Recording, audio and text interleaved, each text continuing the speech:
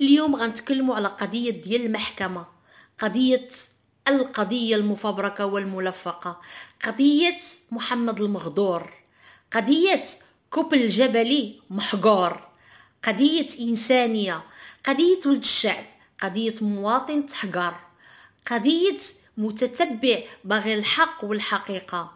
قضية اللي ما بغيناهاش تكون في مجتمعنا. هي القضية ديال الظلم. علاش الإنسان بغى يعيش الحياة الكريمة؟ قضية ديال الحقرة علاش الإنسان عنده نفس النفس الحرة؟ قضية الحقرة علاش الإنسان عنده النفس الحرة؟ اليوم غنتكلموا على بزاف ديال النقاط وبزاف ديال الأمور اللي ما نتمنوها حتى شي واحد واللي ما بغيو الآسى حتى شي حد. والحق حق والباطل باطل وكنتمنى من المتتبع يتوعى معنا وكنتمنى من المتتبع يشوف الأمور بالعقلانية ويشوف الأمور بالمنطق ويحلها بالذكاء. لأن إحنا ما يمكنش نختار واحد الشخص غلط وظالم وغادي نصفقوا له إذا حتى حنا غنكونوا في ميزان الظلم. إذا حتى حنا غنكونوا ظالمين. إذا حتى حنا إذا خلصنا الله غنكونوا كنستحقوا. نتوما وحنايا.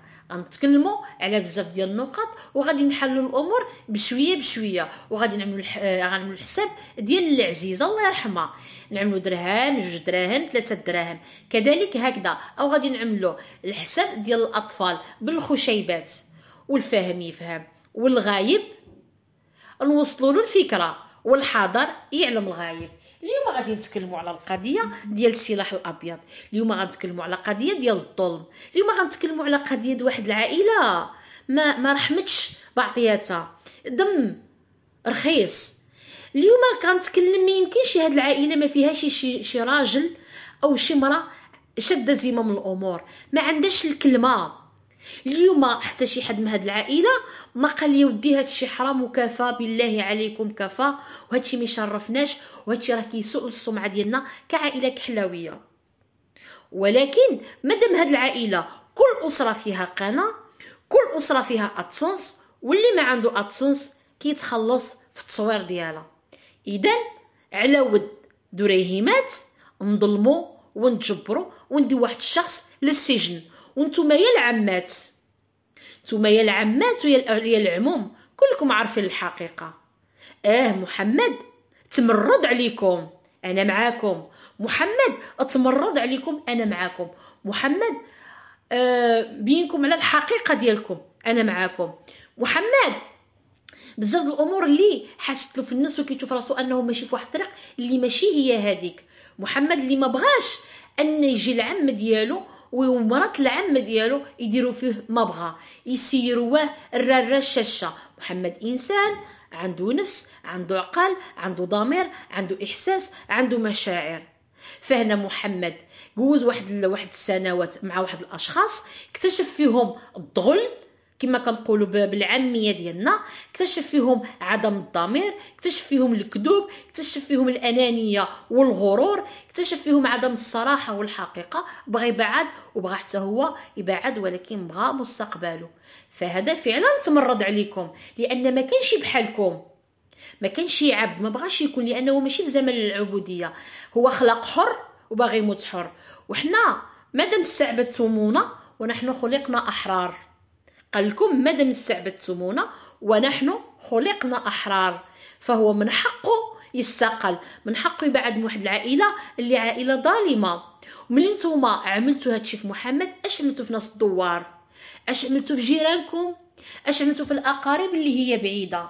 مادام قدرتوا طوعكم الضمير ديالكم وطوعكم الدم ديالكم أنكم عملتوا هاد الشيء عفوا عملتوا هذا الشيء في الشخص هذا واديتوه تنهى الدرجة. اليوم كمتتبعين كمتفرجين كمجتمع. في نظركم وبالله عليكم. محمد يعني آه كيتراوح السن ديالو ماشي في الأربعينات.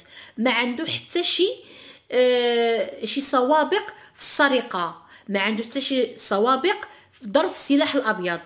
ولكن اليوم نهار اللي عمل محمد آه قناة وتعرف للجماهير وعرف أي غلطة غتسيء له في العالم الأحمر. لأن القنوات المنتقمة أي غلطة غلطتي ولا ما غلطتيش غادي تجبدك. ما بالك إذا غلطتي؟ هذه نقطة. كذلك محمد وصل لسن الأربعينات. كيفاش غادي يسول نفسه؟ أنه غادي يمشي يتعرض للعم ديالو وعرف بأن كاين القانون بان كاين القضاء. هذه النقطة الثانية. كذلك كيفاش محمد سوت له نفسه واصل سن الأربعينات؟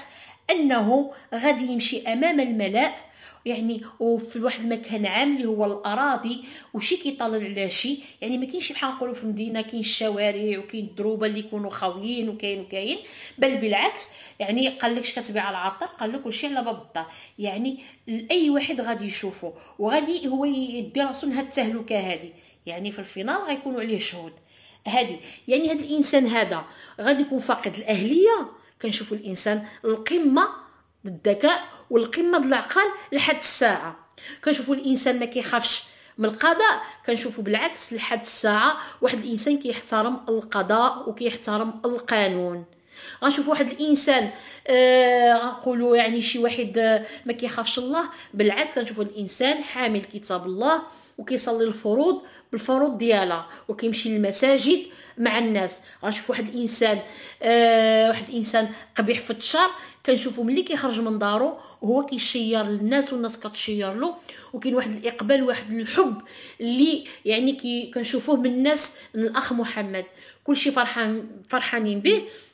بل بالعكس على مول القناة المليونية كيمشي في الطوموبيل ديالو ماشي في حروبو مخلوع كيصور غا الفيديوهات كيصور الطرقان هو ومراته وولادو كيتنوبوا على الكلام كيتسابقوا على الكلام لا غير كيستهزئوا بالمتتبع وبالذكاء المتتبع لا غير. بل محمد واحد الإنسان شعبي واحد الإنسان آه، كما كنقولوا اجتماعي هو كيبغي الناس والناس كتبغيه. وهذا الشيء باين في الفيديوهات ديالو. لو كان الناس ما كتبغيش ما غتجلسش معاه ما غتضحكش معاه ما غتصورش معاه إلى آخره. بل حنا كنشوفوا العكس. هنا هذا الشخص هذا الشيء هذا كامل غادي نعملوه جانبا. كيف يعقل محمد واحد السيد متزوج؟ عنده أربعة ديال الوليدات. كيفاش هو غادي يدي راسو للتهلكة؟ لمن غيخلي هاد اربعه ديال الولاد والمرأة في العنق ديالو. كذلك عنده الأب والأم ديالو خوتو اللي ما كيرضوش نهائيا بشي حاجة اللي خايبة. غادي يسبب الوالدين ديالو واحد الإحراج وغيحطو في واحد الموقف محرج لأن هذا الإنسان عنده العقل. هذه نقاط اللي خصنا نتكلموا عليها. كذلك المتتبعين. أنا ما كنتكلمش على المتتبعين ديالنا. المتتبعين ديالنا مآمنين بالقضية. راها قضية ظلم. قضية مفبركة. ولكن كنتكلم على أي متتبع دخل هذا الفيديو هذا وسمع وتمعن في هاد النقط هادو كيف ما نتوما مثلا واحد الشخص كينزل لك فيديو ديال الكاميرا أنه غير موجود ديك الساعة اللي تدلى بها في المحضر؟ الساعة اللي تدلت بها في المحضر أنه هاد السيد تعرض في هاد الساعة هذه لهجوم من محمد وبلال. هاد الساعة مدلية في المحضر. نفس الساعة اللي عنده بلال أنه موجود في تطوان وأنه كاين كيلومترات ما بين بني أحمد وتطوان وأنه رصدته الكاميرا في نفس الساعة اللي مدلي بها في المحضر. يعني أنا واخا نبغي القناة مليونية واخا كيعجبني المحتوى ديال القناة مليونية واخا كنعز الناس ديال القناة مليونية ولكن ما تضحكش عليا ما تستهزئش بيا ما تستهنش بالذكاء ديالي ما تستهنش ب... بالخبرة ديالي في الحياة ما تستهزئش بزاف الأمور اللي تبارك الله على المتتبع المغربي الذكي. فإحنا هنا هذا هما الأمور اللي خصنا نطرقوا لها. فاش هنا ماشي كنقول لكم حنايا محمد بريء من هذه القضية؟ بريء من هاد القضية ديال السلاح الأبيض فما كنتكلموش من فراغ. أنت مع راسك جلس عمل رجل على رجل وجلس كتحلل هذا الموضوع. هاد السيد حياته هو عايش في الدنيا. وما عمره عمل هادشي هذا مع البراني اللي ما غيعملوا مع عمو. هاد السيد هذا كنشوف الإنسان داخل سوق راسو.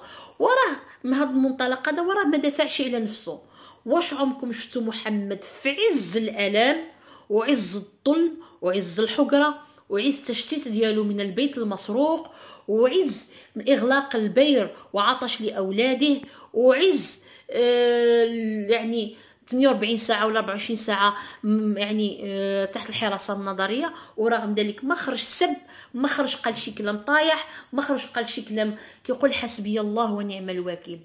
هي هي كتغني وهي كتكفي وهي كتكسي وهي كتشرب وهي كتشبع. فهاد الشخص هذا كيفاش لو كان واحد الإنسان أذى كون خرج بحال القناه المليونية يسب ويقذف ويضرب في الأعراض.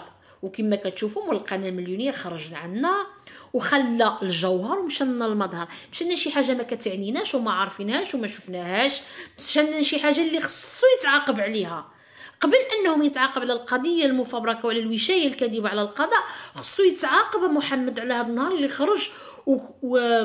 وسب لك في الزوجة ديالك واتهمها بشي اتهام باطل شي اتهام خطير واتهم يعني أنك والد في الحرام يعني اتهام خطير.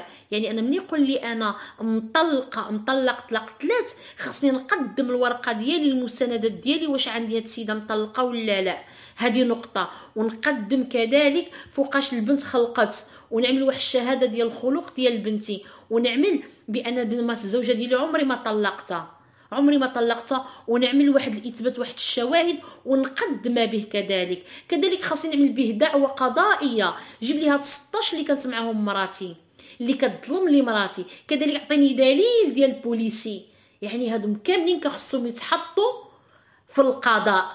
وحنا دابا كنلمسوا لك العذر نحيدوا جانبا القضية ديال السلاح الأبيض وغادي نطالبوك بالحقوق ديال راديا وديال الاسراء وغادي يكون أمانة على العاتق ديالك وغادي نشدوا بهذه القضية هذه. ولكن أول حاجة غادي نتفكوا إن شاء الله من القضية ديال السلاح أبيض وخصنا نرجعوا للقضية ديال التشهير والظرف الأعراض والظرف النسب ديال الإبنة. لإسراء. هذا هو اللي خصنا نتكلموا عليه وهذا هو المنطلق اللي غادي نبداو نتكلموا عليه. فهنا اليوم حنا ما كنسبوش وما كنقذفوش وما كنأذيو حتى شي حد. حنا اليوم كنتكلموا على حق امرأة حق ديالها مهدور اغتصاب حقوق امرأة وطفلة. اغتصاب حقوق امرأة مغربية خصنا الحقوق ديالها. وأي امرأة تعرضت لهذا الاغتصاب بحال هذا الشكل هذا خصنا نجدوا لها على الحق ديالها. وخص القضاء ياخذ لها بالحق ديالها لأن المرأة مغربية عندها شان كبير في المجتمع المغربي. خوتي خواتاتي كنتمنى هذا الفيديو ينال الاستحسان ديالكم. ما تبخلوش لينا باللايكات والبارطاج تعالق المحفزة. دمتم في رعاية الرحمن وإلى الملتقى.